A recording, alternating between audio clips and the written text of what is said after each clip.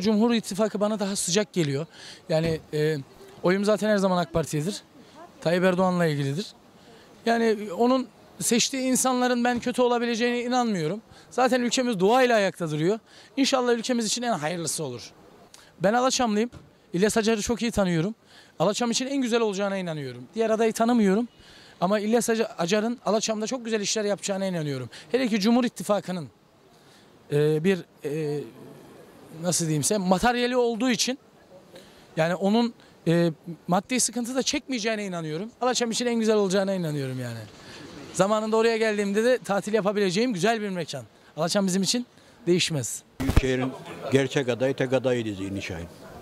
E, Canik Belediye Başkanı adayı olarak İbrahim Sandıkçı ile ilgili Onu tanımıyorum. Şimdi bir şey söylersem yanlış olur. Değerlendirdiğim zaman Samsun'da AK Parti kaybetmiştir kardeşim. Ben ülkücüyüm. Ben hayatta oy vermem. Dem- Demir'e vermem. İşte o da bizim Devlet Bahçeli'nin bekadır bilmem ne. Madem bekadır hep bekayı AK Parti mi şey yapacak?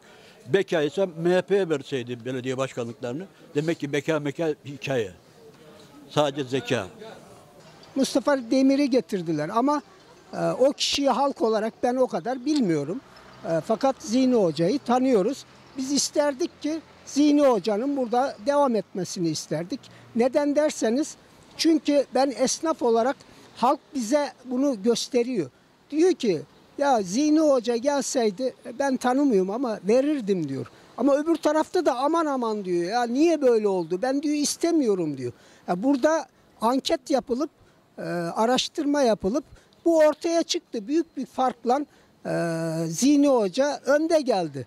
E, o zaman Ankara bunu artık e, değerlendirmesi lazım. Neden değerlendirmesi lazım?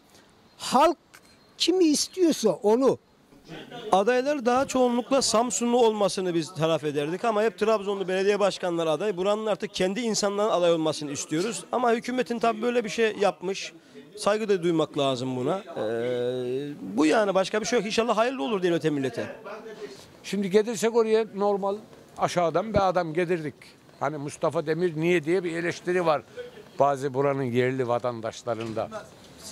Ya adam bürokrattan geçmiş. Hiçbir deneyim olmayan bir adamı getirdik. Çok da seviliyor. Çok da iyi bir adam. Ama bilgi beceri yoksa, nereye gideceğini bilmiyorsa, adres soruyorsa bunda biz zaman kaybederiz. Zaman kaybetmemek lazım.